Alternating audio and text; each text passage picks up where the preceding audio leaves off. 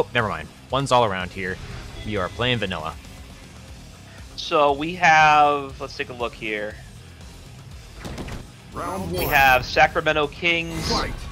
Ed, and what looks to be Miami Vice Laura.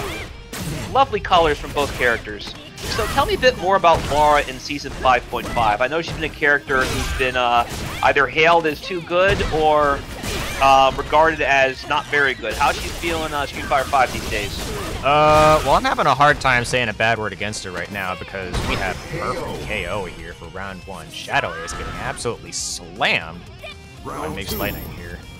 Yeah, many Yikes. times against Laura that can happen that first exchange, and then you uh, adjust to her unique way of maintaining offense. That crouching medium kick has always been such a fantastic tool of hers. So be sure to watch for it. Like, just when you think you've finally gotten away from uh, those big pokes of hers, that one just kind of sneaks you off your feet and leads into that, and now she's back in your face. Yeah, you know, gotta say, this cross-up jump light kick here doing a lot of work for Dro at the moment. Big punish on the EX command grab attempt there, able to get a full jump back into a dash forward with all those recovery frames. And here comes the games Laura likes to play. Good, just converting right into it. Now Laura has to be careful. There's a fireball waiting for her. You mentioned those throw loops. Laura has full V trigger. She could have potentially through some of that, but at the same time, looking for throws might be the smartest idea. And Laura tried dashing. Oh, that could have been finishing the job. Yeah, that Shadow Ace it. doing a great job here of playing around the activation attempt from Laura. Now, Chip is definitely a threat given that Dro has no long no V reversal available to them. But finding a touch here in the corner, oh my goodness. So much damage. EX upper? I was thinking maybe I should just go for it, but uh, yeah, you saw Laura's looking for it too. So good stuff. Shout out for being patient. Watch yourself. Oh no! Oh, you don't, you got don't, touched! you don't have it. You don't have it. You could have just jumped away, and you would have just whip punish. I think Dro forgot that in that situation there are chip kills. Uh, yeah, definitely a bit of a slip of the mind there from Dro. Could have maybe escaped from the threat of Chip, but instead taking it to the chin. That's okay though. Shadow Ace did have to spend all their bar for that comeback there. Yeah, but at the same only give it time, uh, that one round can slip away really fast. As we're seeing right now, pushing, pushing to the corner. One more Yeah, hit's gonna be dizzy. Double counter hit there for Shadow Ace, providing massive damage and the flicker to occupy the space. Big damage going to this other side. No, stays in front. Oh, right. but, but, Laura, dangerous as always, found their way out of the corner with the cross up. Don't get too V-trigger? crazy. Yeah, I was thinking something was coming. Yeah, V trigger right there. Oh, what a whiff! And Shadow Ace steals one. Things look to be firmly in Dro's control at second round, but then Dro forgot where he was with uh, health and chip kills, and Shadow Ace used opportunity to take the game with a convincing round three. Yeah, I gotta say, I, I like the idea and the reaction there. The EX command grab did get it all the way clean through Big Perp there, but just barely short of its target. Shadow Ace is able to clean it up with a crouch medium punch and the recovery. Alright, here we are, back to playing elusive. All right, gradually pushing Ed to the corner. Laura has to be mindful of. Go. Okay. Knew that Ed was going to swing to something and went for the command grab, and it worked. And now this is all Laura.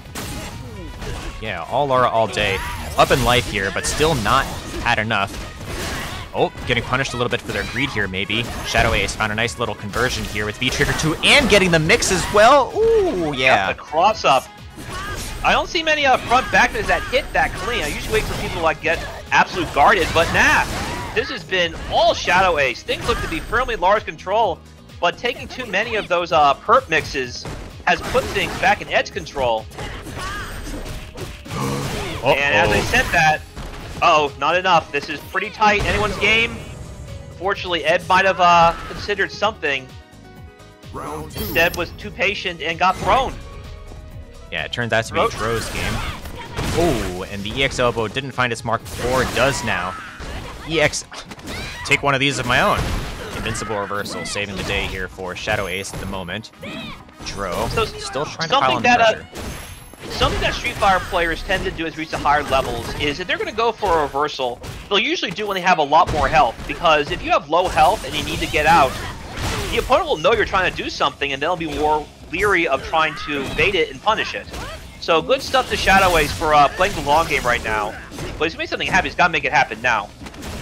Oh, Drill and. Laura might take a game. Big perp sailing off into the sunset there as Laura launches herself backwards. But Shadow is managing a, a critical crouch medium punch into the upper for the CA conversion here. Wow, what a timing there on the button. And a great Yeah, conversion Shadow- as well.